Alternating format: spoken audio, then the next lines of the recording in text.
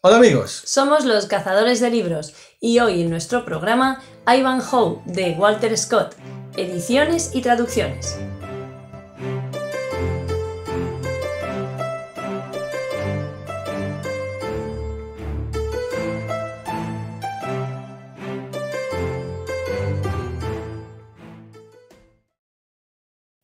Ivanhoe, una novela que a todos nos suena a juventud, que a todos nos trae la nostalgia de la infancia, la nostalgia de la adolescencia, estos relatos históricos, esta novela de aventura histórica. ¿Quién no la ha leído? Seguro que alguno de vosotros no, pues ya estáis tardando. Es una novela muy interesante de Walter Scott, de Sir Walter Scott, que fue, bueno, como todo el mundo tiene consenso en ello, el creador de la novela histórica con ficción histórica. Y esta, esta novela es el punto o el tema central de nuestro programa. Vamos a empezar por el autor, ya sabéis que siempre nos lo colocamos igual. Os voy a decir un, breve sumario del programa. Vamos a empezar por la biografía del autor, resumirita porque tiene una biografía enorme.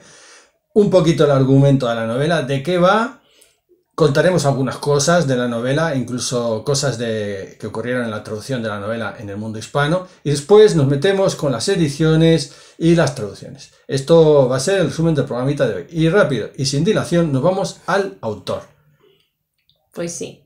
Sir Walter Scott nace en Edimburgo el 15 de agosto de 1771, en una familia cuyo padre era abogado, un abogado de buena posición, y su madre era hija de un médico. Entonces, bueno, pues vivían bastante bien. Desafortunadamente, cuando era pequeño, cogió la polio, la poliomielitis, y eh, bueno, pues eh, tuvo finalmente, desarrolló una cojera, fue cojo de una, una, pierna, y siempre su salud se resintió muchísimo. Era un niño que tenía muchos problemas, siempre enfermizo. Esto hizo que sus padres muchas veces le mandaran con sus abuelos a pasar largas temporadas porque vivían en una especie, bueno, una casita, una mm, granja cercana a la frontera con Inglaterra. Ellos pensaban que ese clima era más benigno para su hijo y bueno, él aprovechaba esas estancias para aprender, aprender relatos e historias locales que le fascinaban y a pasar muchísimo tiempo leyendo. Leía poesía, leía sobre historia, leía aquellos libros de cuentos de hadas y bueno, pues dejaba volar su imaginación. Ya decían desde entonces que tenía una memoria y una retentiva prodigiosa para su edad y entretenía mucho a los, a los demás pues contando sus historias a pesar de esta, de esta enfermedad tan terrible, él siguió luchando, siguió estudiando y de hecho se sacó la carrera de Derecho en la Universidad de Edimburgo. Y cuando acaba su carrera de Derecho, pues bueno, ya se pone en el bufete de su padre a trabajar. Allí eh, conoce, bueno, tiene algún afer amoroso, de hecho tiene un fuerte desengaño amoroso y le da por ponerse a escribir poesía romántica y a la desesperada, ¿no? Sí, bueno, él, me, imagino, pobre. Sí, sigue buscando el amor en esos años y al final lo consigue. Eh, conoce a, a, Charlotte, que será la que será su mujer, con la que tendrá cinco hijos y será el amor de su vida. Y a partir de este momento empieza su carrera como escritor, que compagina pues, con la de abogado, ¿no? Y ¿Qué hay? Eh, ¿Qué es lo que primero eh, o, qué es lo que primero le atrae? Bueno, él, de hecho, le gustaba muchísimo el romanticismo alemán, le gustaba la novela gótica y eh, aquellas historias o relatos, podríamos llamarlas como baladas populares, que, que eran muy comunes en la frontera anglo-escocesa. Y bueno, pues ¿Qué es lo primero que hizo? Y lo primero que hizo fue pues eh, traducir. Le gustaba mucho un autor alemán que se llamaba Gottfried Burger y eh, tradujo un par de sus obras y entonces, bueno, a partir de aquí pues empezó a, generar su propia escritura, ¿no? su propia producción literaria. Y comienza, o lo, lo que podemos decir, comienza a ser un poquito más famoso con una obra que se llama La Dama del Lago, que la escribe en 1810 y esta obra tiene un éxito del público y de la crítica brutal, no se lo esperaban. Eh, de hecho, vendió más de 25.000 ejemplares en apenas 8 meses. Aquello fue increíble. Eh, se agotaron en las, las, librerías de Edimburgo las ediciones. Y bueno, pues se fue haciendo un poquito cada vez más famoso. Pero donde más eh, comienza su fama es con la primera eh, historia así que se llama Weberly, que esta es como su primera novela, podríamos decir, ¿no? Porque antes había escrito muchas historias, relatos y demás, pues ya su primera novela eh, que hizo en 1814, bueno, le lleva ya al estrellato de los escritores. La primera edición se agota en dos días. O sea, imaginaros lo que era el furor que tenía ya Walter Scott. Y eh, ¿Qué ocurre? Bueno, pues él ya empieza a escribir más. Por aquella época no se veía muy bien que la gente escribiera en prosa. No sé por qué, pues eh, la poesía gustaba más. Tanto Weberly como unas cuantas eh, novelas posteriores, pues ¿qué hace? Las escribe como anónimo. Aunque todo el mundo sabía que era eso. y bueno, ¿y qué podemos decir? Bueno, hay unas bueno, un montón de novelas, historias, relatos que hace continuamente, él, escribe, es muy prolífico escribiendo, pero las más conocidas que nos llegan a la actualidad, sobre todo porque incluso se han llevado al cine, serían la de Rob Roy, Ivanhoe, que la escribe en 1819, y Quintin Duar. Entonces, estas tres son un poco por las que más conocemos a Sir Walter Scott, o al menos aquí en España. Y eh, bueno, luego os, contaremos un poquito más ¿no? sobre, sobre cómo es ese proceso de, edición, de traducciones y, demás. Pero sobre todo ya esto le impulsa, se hace rico, o sea, gana muchísimo dinero y él siempre le había, pues no sé, ilusionado tener como una, finca, una propiedad ahí en Escocia, lo que se llamaba los Lair, ¿no? Como los lores o algo así. Y entonces, bueno, pues se embarca en eso pero allí por 1825 empieza la crisis, una gran crisis en, en Gran Bretaña. y bueno, y los negocios se le van al traste y casi, casi, bueno, vamos, que se declara en bancarrota. Todo esto, bueno, pues se le viene encima. Él tenía una editorial incluso con la que publicaba sus libros el, otro coeditor, o bueno, el, otro socio que tenía, ese dejó, dejó el negocio, bueno, tenían un montón de deudas. Y él pues decide seguir escribiendo. Seguir escribiendo no le importa, él quiere sacarlo adelante y lo consigue, lo va, va, sigue, sigue escribiendo, sigue escribiendo. Pero claro, todo esto, junto con la muerte de su mujer, le deja otra vez muy, muy, muy, muy chafado, eh, muy deprimido y vuelve aquella enfermedad que siempre le había mm, machacado, ¿no? Esa, esa polio, eso, eso que tenía ahí, y le sigue un poco consumiendo. Entonces decide huir del Reino Unido, decide salir de Gran Bretaña, irse al Mediterráneo, a la zona de Malta, y allí le reciben, incluso en Nápoles también, y allí le reciben en cada puerto con todos los honores, porque ya se ha hecho famoso mm. ya en toda Europa, ¿no?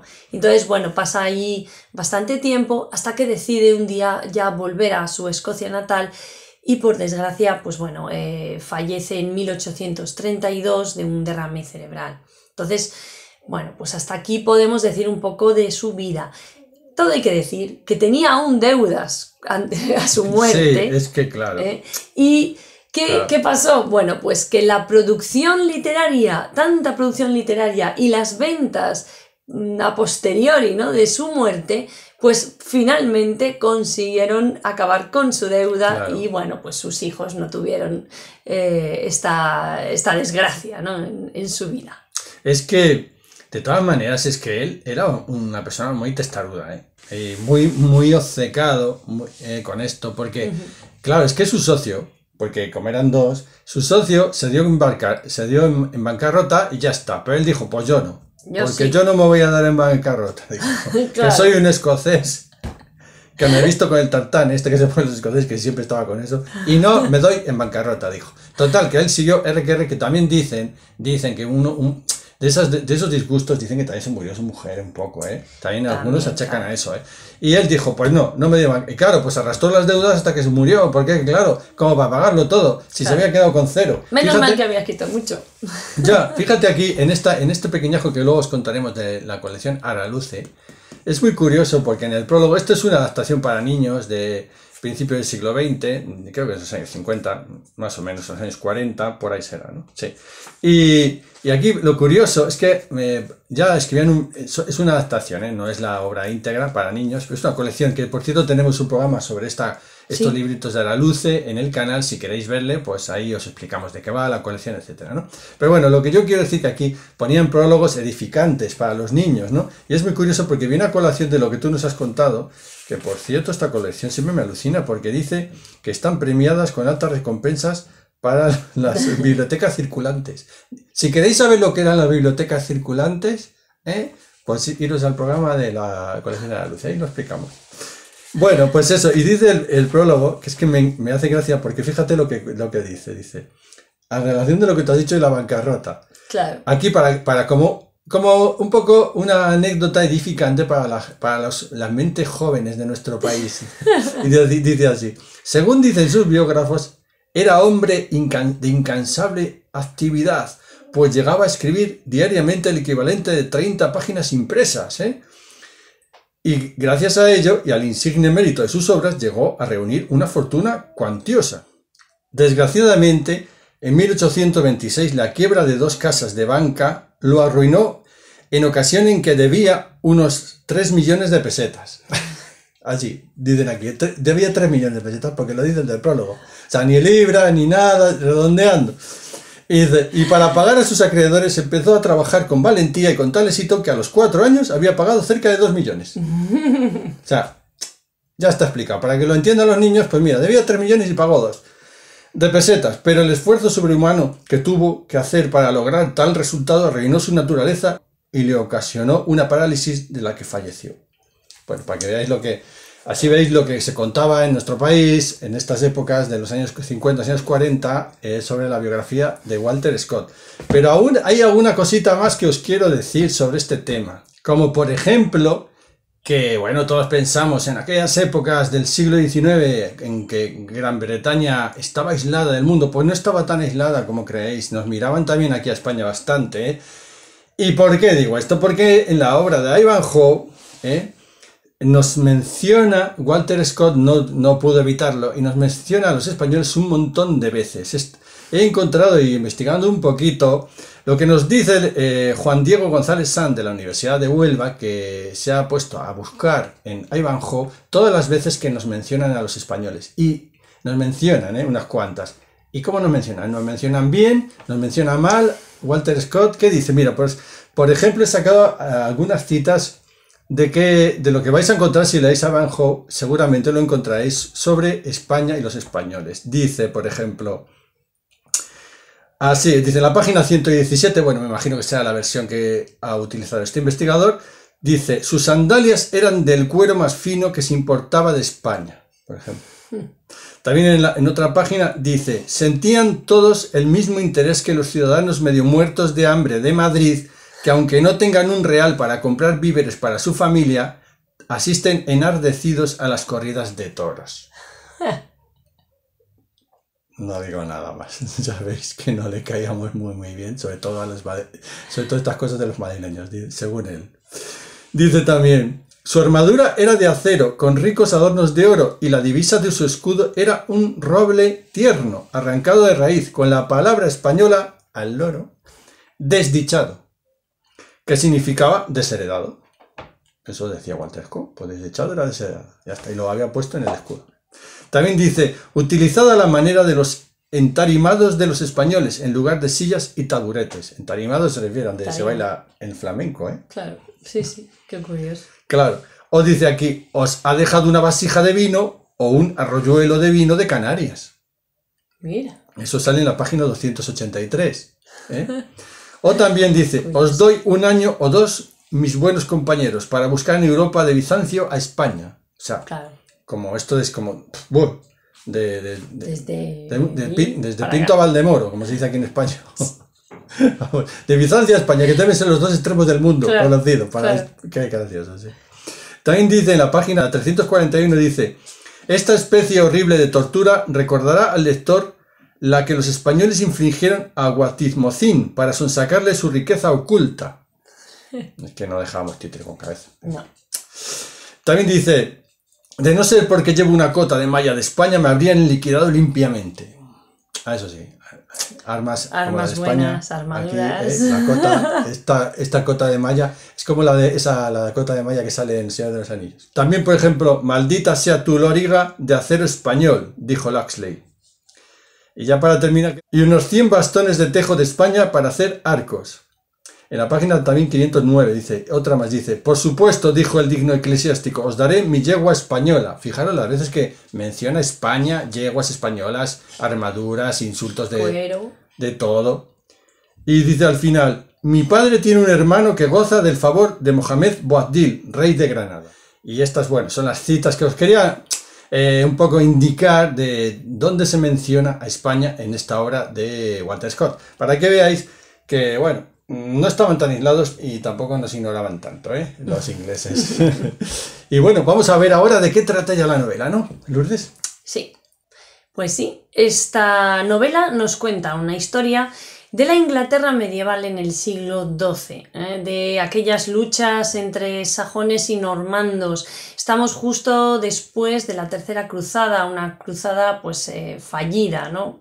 ¿Y qué, qué nos encontramos? Pues es muy curioso porque esta novela por eh, vez primera se puede considerar una novela histórica de ficción, porque hay personajes reales, pero también personajes imaginarios que nos van a llevar a lo largo pues, de toda la aventura. Y sí. que efectivamente, ¿qué tendremos aquí en esta novela? Pues eh, tendremos aventuras, batallas, eh, bueno, de, de todo, todo lo que os podáis imaginar, historias de amor, eh, concursos, eh, torneos, concursos de arqueros, incluso, vamos, juzgan a una bruja o lo que se supone que, que- que creían ellos que, que era la brujería, ¿no? Pues también lo, lo incluye. Veremos eh, muchísimas, pues eso, hazañas, veremos los caballeros medievales, veremos, los veremos algún templario. Entonces, bueno, todo esto en, en ese ambiente de, de esa Inglaterra. A veces eh, nos encontramos, pues eso, los personajes reales, los reyes, por ejemplo, Ricardo I, Corazón de León, o Juan Sin Tierra, Juan I también. Pero, eh, ¿qué, qué otros personajes pueblan esta novela? Bueno, pues el principal es Ivanhoe, Wilfredo de Ivanhoe. Este es un caballero cuyo padre es Sir Cedric, que es eh, un caudillo sajón que quiere restablecer el dominio sajón para el reino y entonces está ahí haciendo sus cábalas y diciendo, bueno, voy a intentar casar a Lady Rowena, que es otra de las protagonistas, con el último o con la última sangre real que tenemos eh, de los sajones, que es Athelstein, y bueno, pues eh, él se hace sus, sus cosas contra, todo siempre contra eh, el ascenso al trono de Juan, de Juan I, ¿no? de Juan sin tierra y demás. Y eh, Ivanhoe, que es su hijo, eh, al final lo, lo deshereda porque se, se mete por medio ¿no? de este problema. A Ivanhoe le vemos volviendo desde la tercera cruzada y cuando vuelve empieza a participar en torneos, vemos esos torneos a caballo tan, tan interesantes, tan emocionantes de aquella época antigua. Y eh, siempre hay un enemigo ¿no? que, Siempre. que, Sí, es verdad. que lucha contra él, siempre va a haber, tenemos el héroe que es Ivanhoe, pues el, el enemigo que es un templario, por cierto, que es Brian Bois Gilbert. Y, y este será un enemigo no solo en, en la batalla, sino en el amor, porque Vaya. él está enamorado de, de una judía que se llama Rebeca, pero resulta que a, a Ivanhoe le hieren en un combate, en un torneo que, que, que él vence, pero queda herido y entonces le llevan a que esta judía le trate y le cure y entonces ella se enamora de él, él como que no le hace caso porque está enamorado de otra. Bueno, así, ¿no? Una serie de circunstancias, tampoco os voy a contar todo, ¿no? Pero, pero merece mucho la pena el, bueno, pues la historia está, está muy bien. ¿Y qué más? Un personaje muy importante que parece mentira, ¿no? Que, claro, tuvo que tener un inicio. Y es Robin de Loxley. Ajá, sale aquí. El genial Robin Hood comienza aquí su aventura y su leyenda en esta novela de Sir Walter Scott. Como un, pues eso, ¿no? Un bandido, pero que, que, roba a los ricos para dárselo a los pobres, evidentemente, y como una muestra quizá de, no sé, de valentía y, lucha contra esa depravación que tienen pues los poderosos, ¿no? El Juan sin tierra que, bueno, que quiere eh, tener una Inglaterra en el puño.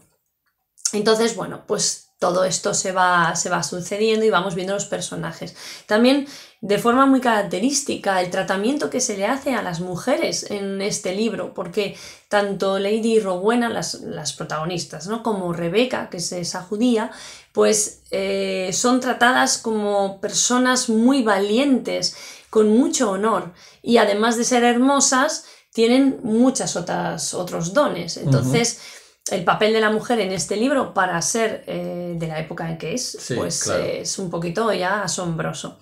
¿Y qué podemos decir eh, sobre cómo está escrito? O al menos cómo nos dicen eh, los estudiosos que ven a Ivanhoe. Bueno, creen que Sir Walter Scott trató de infundirle un mensaje, un tratamiento lingüístico antiguo. ¿Y qué hizo? Eh, claro, quizá no es lo más correcto, pero llevó esta novela a la lengua de Shakespeare del ah, siglo XVI. ¿Qué ocurre? Claro, en el siglo XVI, pues eh, podríamos decir que hay como mucho anacronismo y, no, pues el lenguaje no es el del siglo XII, pero eh, muchos lingüistas ingleses opinan que esta novela no se podía haber adaptado al lenguaje del siglo XII porque había cambiado tanto como si fuera otro idioma. Entonces, muchísima gente no hubiese eh, podido leerlo. Entonces, bueno, le esculpan ¿no? que utilizase un lenguaje un poquito más antiguo para que se dejase entrever la antigüedad de la época, aunque no fuera hasta el siglo XII para ello. Y evidentemente eh, trataremos ahora también el tema de la traducción, precisamente a colación de lo que decíamos de ese lenguaje un poquito pues eh, más antiguo eh, que había utilizado Ivanhoe en, en Ivanhoe Sir Walter Scott.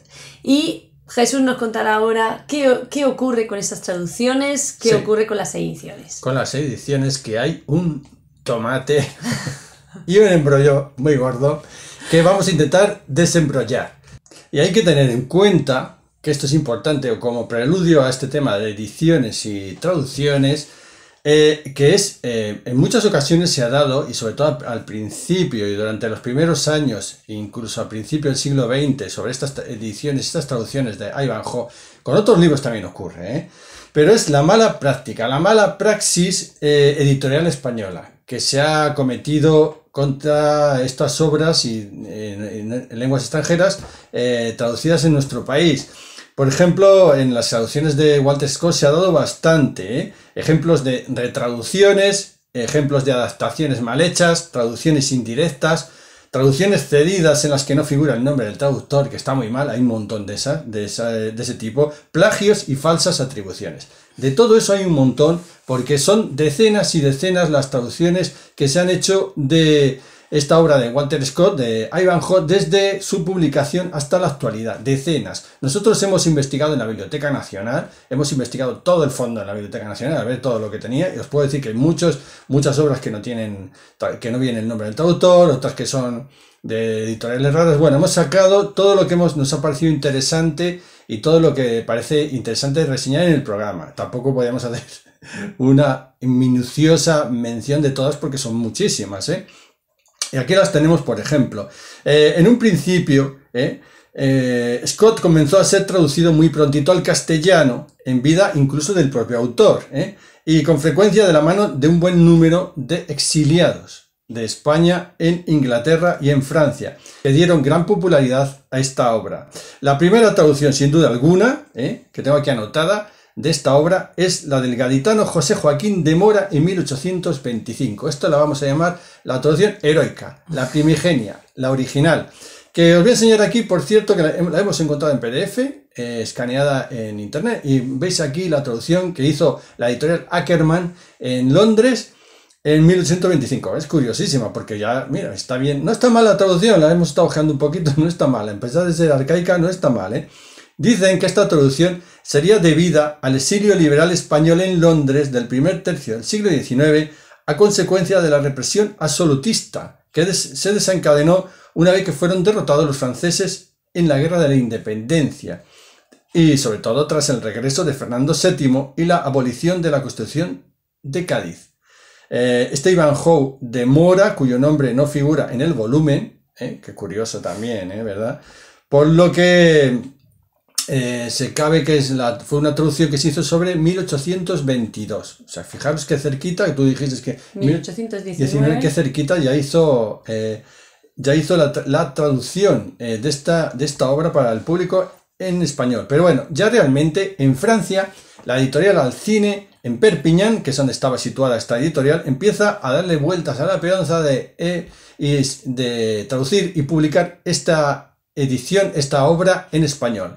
Eh, en esta, en la portada de las tres novelas de Scott, que llegó a editar, porque eh, editó tres, al cine en el año 1826 podemos leer a Ivanhoe, y pone así, literal, traducida del inglés al español por, os digo, es que eran unas siglas, DPMX, que por lo que hemos investigado debían ser atribuidas a don Pablo María, entre interrogación, de Sérica, que era un traductor de la época. ¿eh? Se sigue intentando editar, sobre todo en Barcelona, ya sabéis que siempre en Barcelona era la punta de lanza de las traducciones de principio del siglo XIX, y ya en 1828 eh, López Soler intenta eh, editarla en España, pero choca contra la censura eclesiástica, como era habitual. Eh, según eh, la investigadora de la UNED, Ana María Freire López, dice que en Barcelona se han encontrado unas cartas entre los editores, una serie que en aquella época eran amigos, que estaban intentando editar y traducir y publicar estas obras de Walter Scott, no solo a Evanjo, alguna más. Que estos eran Ignacio Santapons, Ramón López Soler y Juan Nicasio Gallego. Y en Madrid había otro buen amigo que se llama Buenaventura Carlos Aribao. Pues estas cartas entre Carlos Aribao, editor de Madrid, y Ignacio Sampons en Barcelona, estas cartas describen un poquito el miedo que tenían estos dos editores a que la censura les echara para atrás la publicación de ahí abajo. Incluso llegan a decir que les da igual, que la publicación, que la censura, bueno, la podían sortear, quitando aquí, quitando allá. O sea, imaginaros que ya iban ya tenían pensado que tendrían que cortar cosas me parece que pone que incluso dice, te debemos dejar donde pone viva, vive Dios y vive Dios, porque eso les va a gustar, decían así los dos, como diciendo, esto déjalo porque esto sí va a gustar a la censura. Pero lo que más miedo tenían ¿eh? era sobre todo de la crítica posterior a la publicación del libro, de la crítica de una sociedad un poco puritana de la época que iba a decir de ciertas cosas, de ciertos pasajes que, que pensaban ellos que iban a salir en Ivanhoe. Fíjate que, que también, que es que es un libro que yo no le veo nada para censurar. Pero bueno, en fin, fíjate que ya tenían miedo, ¿eh? Y lo pone así, mira, sacado la cita, dice, dice uno al otro, le escribe, me parece que es Aribao a, su amigo San Pons, le dice, debo advertirte que estamos prontos a sacrificar, quitar o enmendar cualesquiera pasaje de la obra con tal de que éste pase en su totalidad. Y para tratar y transigir sobre esto te damos amplias facultades, le dice. Y luego dice, en otra cita, Dice, más quiero dificultades de parte de la censura, o sea, quiero que haya más dificultades de parte de la censura que ningún ataque después de ser publicado, que bien sería posible según se tornase la cosa. Le escribe en las cartas estas. O sea, me ha parecido, bueno, he querido sacarlo porque me ha parecido muy curioso, muy explícito la investigación de esta investigadora de la UNED, que ya menciona este, esta obra de Evan Hoy, el miedo que tenían los editores en, por los años 20 del siglo XIX a la publicación en España. O sea, que ya en fin, tuvieron muchos problemas. Así que hasta 1832 que la editorial Bernes, quien se intenta, es la que intenta eh, editarla y publicarla en Barcelona, eh, lo intenta y es la que se ocupa al final de publicarla. ¿eh? os voy a ir ya diciendo un poquito otras ediciones, por ejemplo, la editorial Omaña lo publica en 1843, que no se sabe quién es el traductor, porque hay muchísimos que no se saben quiénes son los traductores. Eh, la editorial Verdaguer en 1883 con la traducción, y aquí ya empezamos ya la narración de las traducciones históricas, las clásicas que algunas han llegado hasta nuestros días. ¿eh? No creáis que por ser traducciones clásicas no están en los libros que se pueden adquirir ahora. Y Verdaguer en 1883 con la traducción de Juan Tomás y Salvani, con dibujos de André Marilis, Ryu, Scott, etcétera, etcétera, y unos fotograbados del el propio Verdaguer. Estoy diciendo en 1843, ¿verdad? Pues en el 2013, la editorial de Bolsillo vuelve a sacar esta edición con esta traducción, que no quiero decir que sea mala, ¿eh? pero bueno, clásica y arcaica un rato. ¿eh? Y además Penguin Random House la saca en el 2017. O sea, en el 2017 se devuelve como si se fuera a resucitar al cadáver, de la traducción de Juan Tomás y Salvani de Verdaguer de 1883. Bueno, pues ahí lo dejo, que ya sabéis, Penguin Random House y de Bolsillo 2013 tienen esta traducción. Os preguntáis alguno, bueno, y la censura franquista, porque ya estábamos, estoy ya por los años 40, ¿qué pasa? Pues bueno, mira, la censura, la censura franquista en este caso no apretó mucho. ¿eh? No, porque bueno, los censores, eh, dice aquí que hay que destacar, he apuntado, que la consulta de los expedientes censorios conservados en el Archivo General de la Administración en Alcalá de Henares, que es donde se puede consultar un poquito para ver de qué va esto, y se pone de manifiesto que este escritor apenas se encuentra obstáculos durante la dictadura. ¿eh? En este sentido, solo algunos censores indican la modificación o supresiones textuales de ciertas alusiones al catolicismo consideradas ofensivas y, bueno, quitas de aquí, quitas de allá, quedando autorizada la publicación una vez hechas las correcciones pertinentes. Eh, por otra parte, dice, conviene apuntar ciertos casos en los que para asegurarse de este visto bueno de la censura, los traductores recurren, que eso pasaba mucho en España, a la autocensura. O sea, antes de darse la censura ya lo quitaban ellos directamente. Pensaban, pues esto lo vamos a quitar y tal y cual. Sobre todo, como se, os he comentado, en casos de adaptaciones para jóvenes y para niños. Aquí ya metían la tijera al propio eh, traductor, editor, diciendo, bueno, como no va a pasar la censura, lo voy a quitar yo todo. Vale.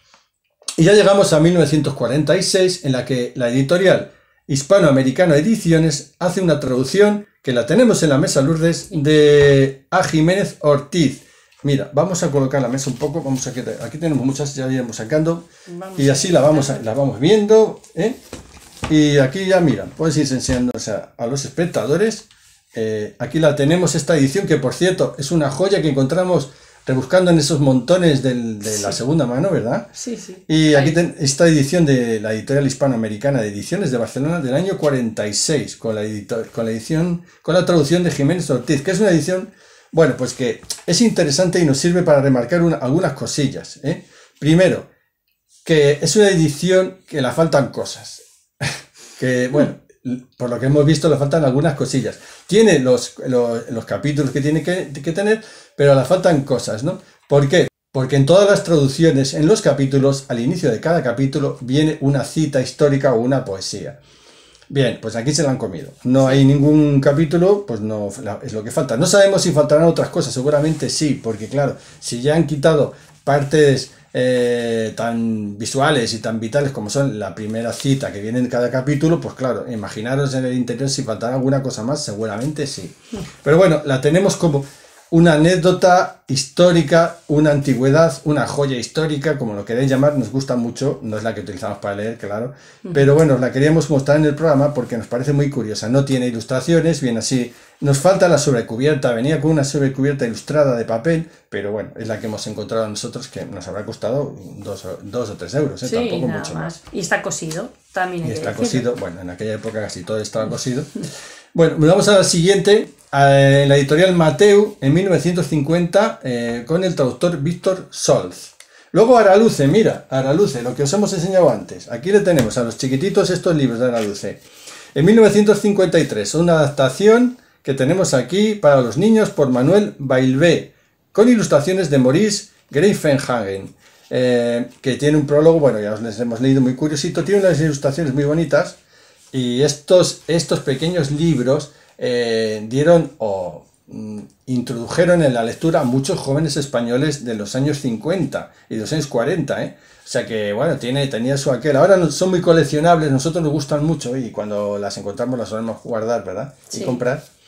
Y bueno, ya veis aquí, son cromolitografías, además, que se nota porque son, son, de las primeras a color, ¿eh?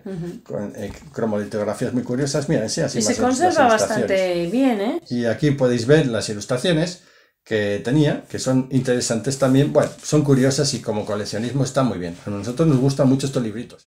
Tenemos la siguiente, ya una edición en México, en 1954, la editorial Cumbre, con ilustraciones de C. Blanche y la traducción de Ildefonso Bonet, que por cierto es la misma traducción que luego saca Sopena en el mismo año, o sea, en 1954. Así que no sé muy bien de quién sería la edición, si sería la de México o de Sopena, ¿eh? pero bueno, es el traductor, es Ildefonso Bonet. Ahí lo dejo, 1954. Eh, la siguiente ya viene ya Aguilar, para todos los amantes, de, es que muchos ya estáis pensando Aguilar, no sacó, Aguilar también sacó, sí. En 1966 hay una traducción de José María Barbera Carbonell, que se va a extender muchísimo en el tiempo. Va a haber muchas reediciones y reediciones de la propia Aguilar durante los años, muchas reediciones, ¿eh? no solo una saca Aguilar, de, José María Barbera Carbonell. En 1966, en Colombia, sale otro traductor, esta vez Luis Mejía, de la editorial Albón, que no la, esta bueno, esta no la conocemos, algunas las conocemos, otras no. La editorial Zeus, en 1969, con el editor José María Claramunda. O sea, para que veáis como la cantidad de traductores ¿eh? que están saliendo. Sigo, el Círculo de Lectores. Mira, en 1969 también tiene una traducción de José María Balil Giró, que también se reedita montones de veces. ¿eh? El Círculo de Lectores también la reedita desde el año 69 muchas veces con, con esta eh, traducción de Balil Giró. Em, la editorial, una importante, mira, aquí llegamos a una importante, la editorial que a mí me parece interesante la traducción, de la editorial Moretón en Bilbao en el año 72 por Abilio Echevarría, que os recordaréis en los que habéis visto el programa de la Divina Comedia de la editorial Alianza, es la, una edición interesantísima de Abilio Echevarría, pues como veis también eh, esta vez para la editorial Moretón y después para, lo pasó a la editorial IBC en el año 82, hace una traducción de eh, Ivanhoe también, ¿eh? también lo tenemos ahí. La editorial Bruguera no podía ser por menos. Si está por medio un libro que es para jóvenes, una edición juvenil, no puede estar eh, exenta la editorial Bruguera. En el año 75 hace, este es un punto de inflexión interesante del programa, porque eh, hay un traductor que se llama Guillem Defac y hace una traducción en el año 75 para Bruguera. Pero es que esta traducción traerá cola, porque es la traducción que va a salir mm, y se va a reeditar en otras ediciones, en Bruguera un montón de veces, pero por ejemplo, como la que tenemos aquí, bueno, mira, la tiene Lourdes en la editorial Orbis RBA, tenemos a Guillén Defac, bueno, que es una edición, la puedes ir enseñando, pero vamos, tiene poco que... Sí. Bueno, ya es la conocida porque tenemos otros libros de esta misma edición. Historia Universal de la Literatura. Es del año 1983. Eh, una edición, bueno, muy austera, muy humilde, pues para leer la letra muy chiquitilla, pero la, la, traducción es la traducción ¿eh? de Guillaume de Fac, que es la misma de Bruguera. Como podéis ver, se lee las páginas ya están un poco amarillantes, ya se, se, nota que la calidad del papel no es de la mejor y la letra es muy chiquitita. Sí, mm. pero es que es la misma, que vamos a enseñar aquí, la misma traducción que la de que nos saca Edasa en el 2007, con este pedazo de edición chulísima, ¿verdad? Preciosa. Eh, preciosa, pero es la misma eh, traducción de Guillaume de Fac. ¿eh? Es igual. Vamos que, a verla. sí, que está muy bien, está súper ilustrada con las situaciones de, no sé qué son, de Vila, creo que son. Mira, que es de Jordi Vila. Sí, Jordi Vila. Es, este es el libro que más nos gusta y que nosotros leemos. Es una traducción bastante buena, nos gusta, aunque es una traducción clásica. De este, de, este, de este gran cantautor de la nueva canción catalana, por cierto, que fue que fue Guillén Efac, este poeta y dramaturgo, eh, narrador, traductor, cantante, activista cultural en Mallorca, un referente de la cultura mallorquina contemporánea, eh, que hizo esta traducción y que a nosotros nos gusta bastante, para nosotros buena traducción, aunque es clásica y ya tiene su, su, tiempo y bueno, es una traducción que se empezó a hacer en Bruguera, pero como veáis, lo que, las vueltas, por eso decía yo al principio que en esta, en esta edición de Ivanhoe, las vueltas que han dado las traducciones, las cesiones de derechos, las retraducciones, o sea, muchas vueltas ha dado el tema, ¿no? La edición, esta, pues como veis, estupendísima para leer. Muy bonita, tiene también algunas ilustraciones eh, entre el texto, algunas ilustraciones también más grandes, que a ver si encontramos alguna. Tiene unas cuantas por ahí. Vale. Mira qué bonita. Sí, Esta un ajuste. de los caballeros. Y bueno, pues está, está muy bonita. Me gusta también porque tiene muy buena calidad del papel, se lee perfectamente, es una letra muy agradable. Todas estas traducciones no hace falta que os diga que, bueno, las, las ediciones son íntegras. Y seguimos ya con más eh, traducciones y ediciones, después de ver esta que tenemos en la mesa, que es bastante buena y nos gusta bastante. Ya Anaya en 1990, con una traducción de María del Mar Hernández. Y presentación de Juan Tebar, ilustraciones, eh, también está ilustrada, etcétera que también se vuelve a reeditar en Altaya en 1995 y también se vuelve a editar esta eh, traducción de María del Mar Hernández en, la, en el coleccionable que os contamos hace poco del país Ah, de- sí. del 2004. Pues en este coleccionable sale esta eh, traducción, mira, ponnos por ahí, Lourdes. esta traducción que nos sacó Anaya en 1990. Así que cuando veis este libro, pues estáis viendo a Anaya. O sea, daros cuenta la de cesiones de traducciones que hay, ¿no? Esta traducción pues está bastante bien. En Anaya se lee un poquito mejor porque la edición es en pasta dura y se pasan mejor las hojas. Pero bueno, María del Mar, sí. María del Mar Hernández, pero eh, realmente es la misma traducción. O sea que en, en estos libros se leen un poquito peor, para ver, la letra más pequeña, está más apretadillo el libro. Sí. Pero bueno, el que quiera leerla también la va a leer y no está mal la traducción también de María del Mar Hernández. Planeta en 1991 saca otra edición con una traducción de Hipólito García que la reedita al loro, ¿eh? La reedita RBA en 1993, El Círculo de Lectores en 1994 y Altaya en el 2005. O sea, no se puede ceder más una traducción. ¿eh? En fin, hasta que llega eh, DAF en 1993, saca otra, otra, mira, esta vez con una traducción propia de Carlos de Vergara, que no sé qué tal estará. EDB en el 2000, una traducción de Inma Baldocci, también, la, fijaros, es que ahora ya, en el, ya ha entrado el siglo, el siglo XXI, pues ya eh, surgen ya eh, traducciones como si fuera un chorreo de traducciones. ¿no? Edicomunicaciones en el 2001 por Henry Campbell eh, y también cedida luego a la editorial Brontes de Barcelona en el 2013, la, la editorial Extremadura en el 2004, una traducción de Montserrat Conil, la editorial Juventud en el 2006, que tenemos ahí, mira, de, ahora os voy a enseñar, de Quintín Dubar. ¿eh? En el 2006 hay una traducción de José Fernández Z. Y por último, una de las últimas traducciones que vamos a recomendar en el programa, Lourdes, que es la de Cátedra en el 2013, una traducción de Antonio Lastra y Ángeles García Calderón.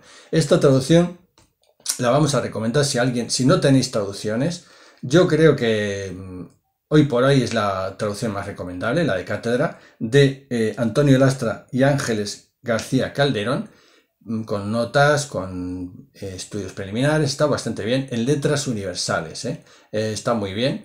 A nosotros nos parece una buena traducción. Creo que salta sobre unos 20 euros, 15 euros, por ahí, dependiendo primera mano, segunda mano, pero bueno, es una buena edición, la de Cátedra. Eh, nosotros, ¿cuál estamos leyendo? La que os hemos enseñado de Dasa, que nos gusta mucho. Eh, es una, una traducción que está muy bien. Es un poco antigua, pero bueno, la de Guillem de Fac es una traducción que la hemos comparado con otra, está bastante bien también y se puede leer. Las demás también están bien, no están mal, ¿eh? Algunas otras. Tenemos aquí una traducción que os queremos también decir, la hemos dejado para el final, que es una traducción muy interesante, eh, hecha en Cuba por un gran, un profesor, un gran erudito cubano, eh, una traducción muy interesante que os quería traer aquí y que, bueno, yo creo que se merece la pena eh, comentarla. Ya veis que es una traducción, una edición que para estar hecha en Cuba, yo creo que está muy bien hecha. eh, tiene su sobrecubierta. Es una edición hecha por la editorial Gente Nueva en 1983 con el traductor Esteban Llorac Ramos. Como bien se dice de él, no vamos a deciros un pequeño perfil para que seáis a quién nos estamos refiriendo con ese traductor. Fue Premio Nacional de Edición, profesor, docente, erudito, gran comunicador, experto mayúscula en la literatura infantil y juvenil cubana. ¿eh? Y ahí tiene un diccionario eh, juvenil que, para corroborarlo. Y es el, se puede denominar el padre de los estilos y las tipografías en Cuba. Esta traducción, ¿qué tal es? Pues a nosotros nos gusta mucho. Es una traducción interesante. Mira, venía con papelitos dentro. Sí, mira. De Cuba. De Cuba. Es que, no sé, la cogimos en la tienda de segunda mano y pues probablemente se lo trajo alguien de, Cuba. Bueno, pues es una traducción que nos gusta. Está muy bien hecha, ¿eh? O sea, no creáis que la traducción está mal. Está muy bien. Es una traducción muy interesante que, que, se puede leer muy bien, no desmerece las traducciones de Dasa o la, la de Cata no lo sé, pero bueno, no desmerece. Tiene una firma original del manuscrito de Walter Scott.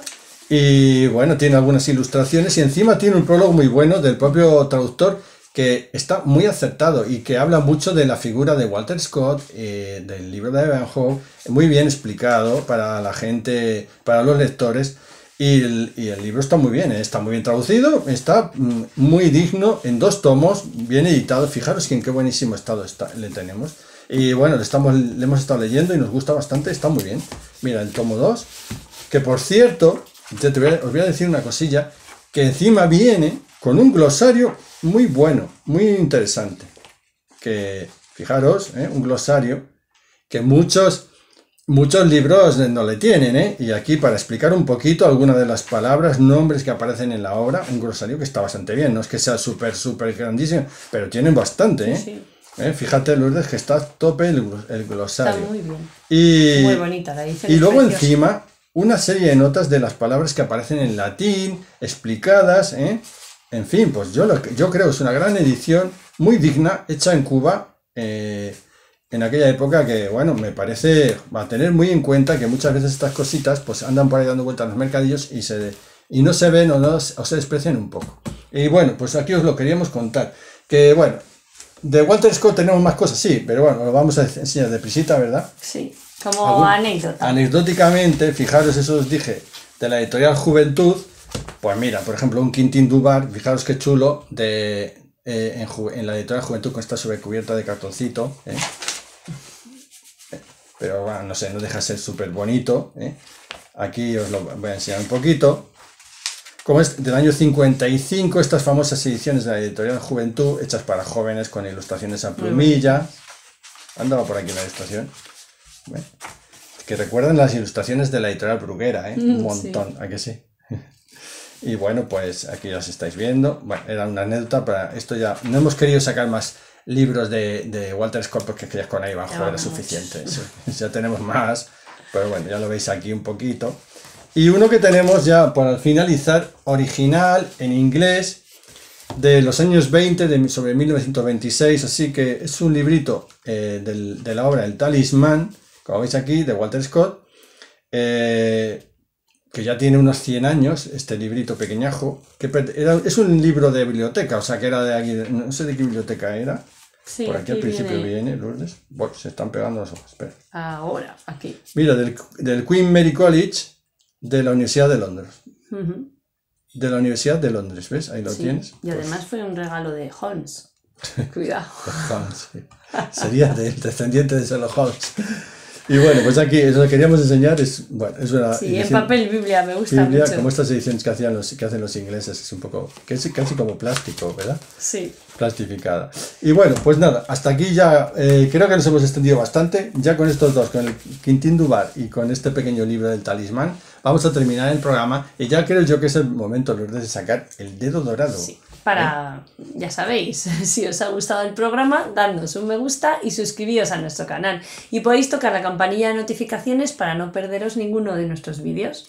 Y como os decimos todas las semanas, y esta vez pues es que hay que decirlo sí o sí, ¿eh? Eh, aunque leamos cosas modernas, aunque leamos cosas actuales, aunque leamos libros que están, son ahora el furor del bestseller, no nunca eh, dejéis de mirar hacia atrás, hacia estos libros de aventuras tan clásicos y tan interesantes y que tanto nos han hecho soñar a todos, amigos. Nada más, hasta otra semana. Adiós. Adiós.